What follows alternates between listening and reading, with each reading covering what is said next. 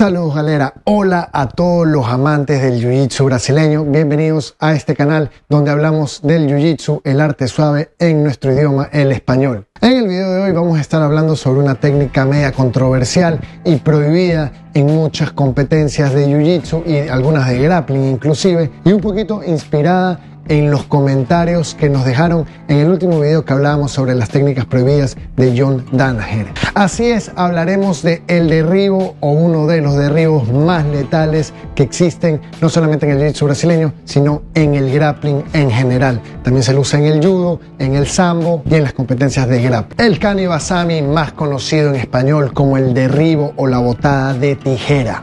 Bueno, sí, muchos de ustedes dejaron comentarios en ese video hablando sobre el kanibasami y lo peligroso que es y que debería prohibirse. Algunos decían inclusive que en su academia o en su escuela el único derribo completamente prohibido o la única técnica completamente baneada es esta, la del kanibasami. Para que esta técnica sea efectiva y segura es importantísimo mantener un buen equilibrio y un buen manejo de control de distancia para que no pueda ser un verdadero desastre en la pierna de mi rival.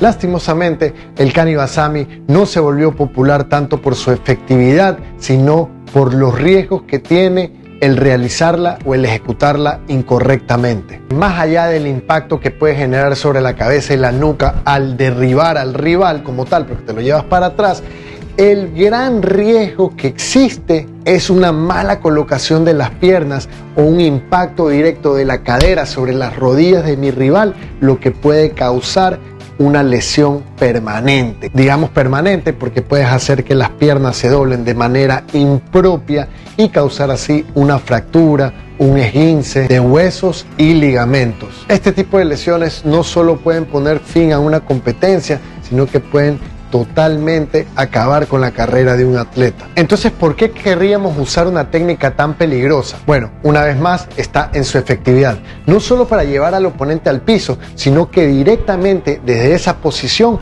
pueden salir los ataques a los pies y a las piernas, principalmente los heel hooks y por ahí unas que otras rectas a la rodilla, por lo que se la ve utilizada bastante en torneos como el EDI, el David Bravo Invitational, en organizaciones como el ADCC. Sin embargo, organizaciones importantes para el desarrollo del jiu-jitsu brasileño, como la IBJJF, mantienen al Kani Basami desterrado del libro de técnicas permitidas, lo cual hace que en muchas academias y en muchos gimnasios no se lo practique. Ahora, creo que inclusive las cosas que no son permitidas se las debe practicar y se las debe conocer para así poder evitar que me ocurran a mí. Estar preparado y familiarizado con la técnica para saber cómo defenderla si es que me llega a tocar. Y sobre todo, cómo hacer para que no pueda ser un peligro para mis piernas, mis articulaciones, rodillas, lo que sea. Pero para resumir, aquí están los puntos importantes sobre el Kanibasami y lo que hemos hablado en este video. Origen y ejecución en Japón, en el Jiu-Jitsu, pero también en el Judo y por lo tanto del Judo viene hacia el Jiu-Jitsu brasileño. Utiliza un movimiento para derribar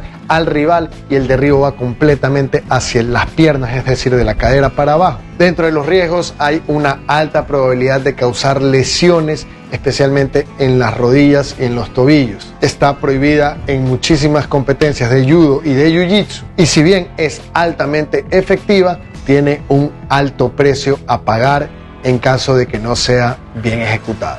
Espero que este video les haya dado una claridad un poquito mayor sobre el Kanibasami, su peligrosidad, su efectividad y el por qué está baneada en algunas federaciones y en algunas academias. Cuéntame, ¿en tu academia te la han enseñado? ¿Se la enseñan solamente los más avanzados? ¿Está completamente prohibida? ¿Solo la permiten en los días de no-gi? Lo que sea, déjalo ahí abajo en los comentarios. Si tienen alguna pregunta, dudas o quieren que cubramos otras técnicas o movimientos o algún peleador o algún estilo, pilas, también ahí abajo en los comentarios lo tendremos anotado y lo iremos incluyendo en nuestra programación de contenido. Así que ya saben, si les gusta el Jiu-Jitsu brasileño, no dejen de suscribirse, activar la campanita de notificaciones y convertirse en miembros del canal para ver estos videos de forma anticipada, sin anuncios, acceso a la biblioteca y pueden venir a entrenar al Video Tripping Studio. Bueno, poco de cosas, ya saben, conviértanse en miembros.